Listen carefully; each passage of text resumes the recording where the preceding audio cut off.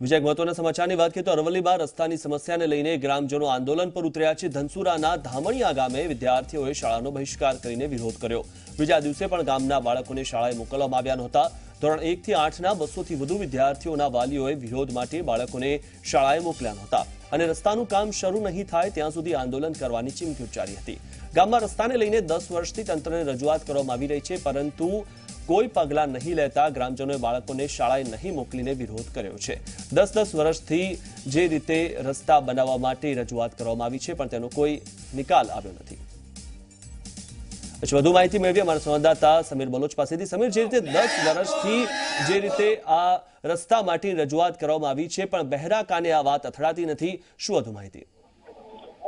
મિથુન ધનસુરા તાલુકાનું જે ધામણિયા ગામ આવેલું છે, તે આઝાદીના વર્ષો વીતી ગયા તેમ છતાં પણ આજ દિન સુધી રસ્તો નથી બનાવ્યો. જ્યારે બાળકો છે, તે ચોમાસાની સિઝનમાં ત્રણ મહિના ત્રણ કિલોમીટર દૂર હાઈવે ઉપર થઈને જવું પડે છે. જેને લઈને બાળકોને જોખમ રહે છે.